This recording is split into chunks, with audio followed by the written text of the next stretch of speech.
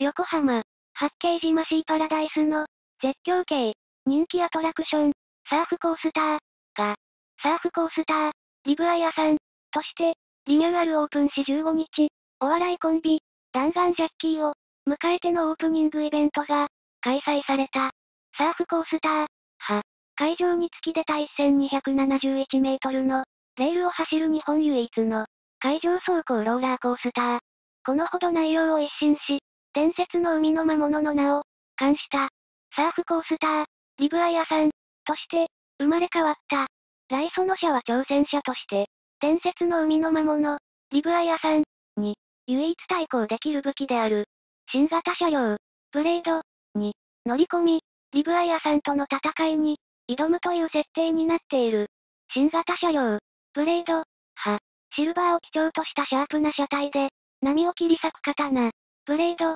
として、挑戦者たちの強い味方に、ブレードの急降下、急旋回の攻撃によりリブアイアさんにダメージを与えていくが、突如としてリブアイアさんの反撃が始まり、リブアイアさんの最大の攻撃、リブアイアさんズ、ブレス、が、挑戦者たちを襲う。ウォーターキャノンを使用した、リブアイアサンズ、ブレス、は、効果音とともに打ち出され、15メートルもの高さまで、吹き上がる。横浜、八景島シーパラダイスの、絶叫系、人気アトラクション、サーフコースター、が、サーフコースター、リブアイアさん、として、リニューアルオープンし15日、お笑いコンビ、弾丸ジャッキーを、迎えてのオープニングイベントが、開催された。サーフコースター、は、会場に突き出た1200